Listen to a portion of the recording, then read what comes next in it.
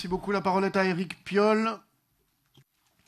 Oui, Monsieur le Président, chers collègues, euh, d'abord au nom de tous euh, et de tous les membres de mon groupe, euh, regretter l'issue quelque peu mouvementée la semaine dernière et, et l'arrêt des débats qui a été subi par tous, je pense, sans doute pas étranger à l'heure tardive de cet important sujet. et c'est important effectivement qu'on prenne le temps ce matin d'en discuter. Ce projet de zone à circulation restreinte, c'est un sujet majeur pour notre territoire dans son ensemble un sujet majeur parce qu'il touche à la santé de tous les métropolitains euh, et d'abord des plus fragiles. Nous pourrions euh, temporiser, reporter, polémiquer, tergiverser, envisager de payer une amende pour euh, ne pas atteindre les normes que nous nous sommes fixées à l'échelle européenne. Ça serait être coupable d'un mort tous les trois jours lié à la pollution de l'air.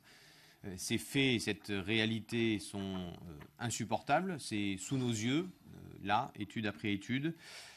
C'est sous nos yeux avec des études qui montrent aussi que l'action publique peut avoir là un rôle décisif. Et c'est même l'un des endroits où il y a le plus de corrélation entre les mesures que nous pouvons prendre et les résultats que nous pouvons obtenir collectivement nous ne pouvons pas euh, nous résoudre à annuler de façon régulière les, crosses des écoles, nous ne pouvons pas nous résoudre à ces décès, à ces nouveaux cas de cancer, à ces maladies chroniques. nous sommes, je crois, attendus et euh, l'amorce des débats ce matin euh, montre que nous pouvons être unanimes sur ce sujet. Nous devons faire front ensemble, c'est notre responsabilité face à, l'urgence d'agir, face à ce fléau de société.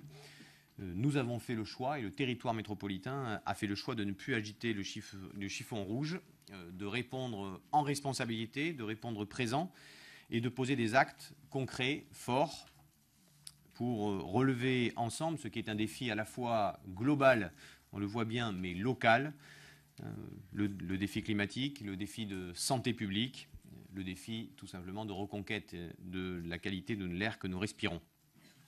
Car nous respirons tous le même air, un air qui ne, s'arrête pas aux frontières communales, qui n'a pas de couleur politique.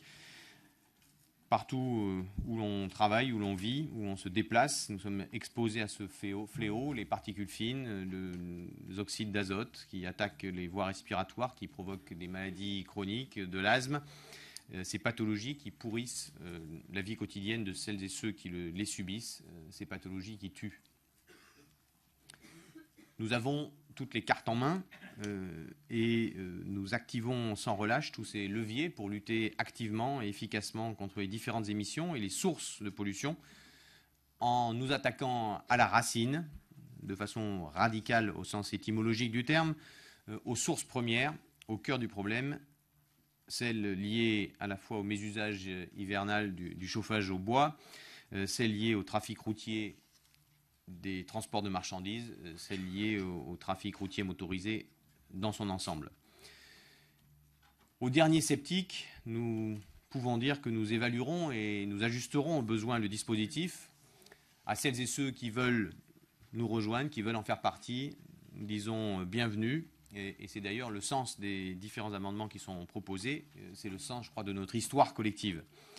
Euh, nous agissons, nous agissons et nous innovons souvent, souvent euh, nous expérimentons avec cohérence et détermination, avec la mise en œuvre de la logistique éco-responsable, avec la mise en place d'aides supplémentaires à celles de l'État aux professionnels afin qu'ils s'équipent de véhicules moins polluants, avec la prime Airbois que ce conseil, dont ce conseil a, voté le doublement la semaine dernière pour que chacun puisse s'équiper d'appareils de chauffage au bois performants avec la reconquête, l'apaisement et la végétalisation de nos espaces publics, de nos cœurs de, villes et de villages, avec notre politique reconnue en matière d'infrastructure et de pratique de vélo, euh, avec l'accompagnement aux usages et la sortie progressive de l'autosolisme qui avance, hein, euh, cette sortie de l'autosolisme, plus 16% de pratique de l'autopartage cette année, euh, et puis nous espérons une voie de covoiturage très bientôt.